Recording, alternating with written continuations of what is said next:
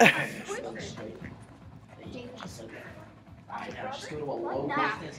Here's another student. Use your elbows to push your legs over.